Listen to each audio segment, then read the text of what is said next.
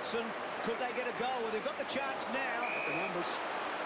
one on O'Brien's little one wide. To ball. We know he's not a long kick, but he could get it across. Oh, well done. Hunt coming back. And then Taylor's... Ha- oh, well, well done, Didak. Beams, goal. Beams kicks it. Tottenham will get just what they want on half-time.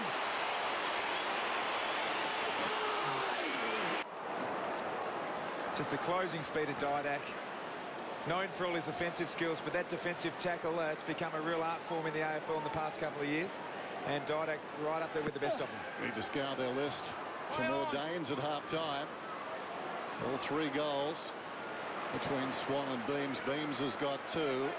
Run towards half forward, dying seconds of the term. Diving in there was Reid, tries to paddle it out. Clever by Johnson.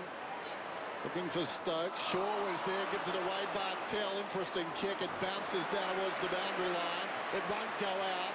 Mackie hard against the line. Kicks it behind. I mentioned Beams got that last goal, but it was good to see the old firm of BDO. Ball, Didak and O'Bree, the veterans combining in the build-up. We mentioned goals from kick-ins, but just as important as goals conceded from kick-in errors. So Yeah, you've got true. to make sure you're not kicking them, but not conceding them either. Outside the defensive 50 from Macaffer. Off hands Johnson. The clock the enemy. We're down to five seconds. It needs a mark and kick. First part done. Open goal. I think he beat the siren. I think he's got his scored. All these they're on fire. The umpires conferring that must have been so close. What did they say? It is a goal. They waved the flags at the MCG. What a terrific finish to the term.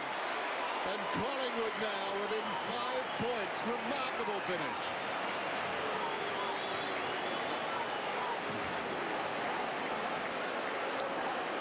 Gee, can a minute make a difference to a footy match? Unbelievable.